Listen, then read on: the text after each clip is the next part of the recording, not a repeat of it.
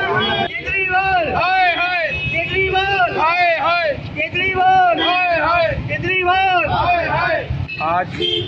लोक कांग्रेस कमेटी की तरफ़ से और सराय पीपल थला में हमारे नेता श्री मुकेश कुमार गोयल जी के नेतृत्व में ये जो पुतला दहन हुआ है,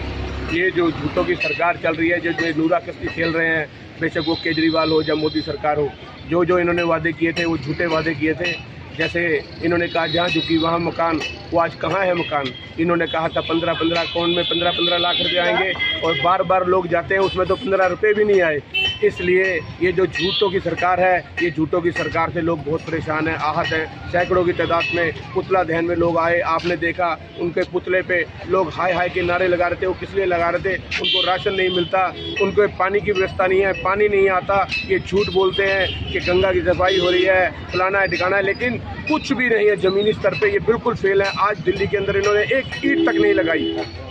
और पेंशनें हम गरीबों की और बंद कर दी। कार्यक्रम में आज का ये माखन जी, जो हमारे प्रदेश कांग्रेस कमेटी के अध्यक्ष हैं, उनके नेतृत्व के अंदर पूरी दिल्ली में सौ अस्सी अस्सी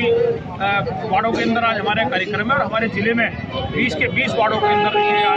मोदी और इसके खिलाफ जो दोनों बनारसी ठग एक बनारस का जीता हुआ, एक बनारस का हारा हुआ, उन्होंने जिस, जो दिल्ली की जनता को ठगा है, उसके खिलाफ आज हम यहाँ जहांगीरपुरी के अंदर आदरणीय भाई मुकेश गोयल जी, जो हमारे लीडर हैं, इनके नेतृत्व में यहाँ भी हम ये पूर्ण अध्ययन कर रहे हैं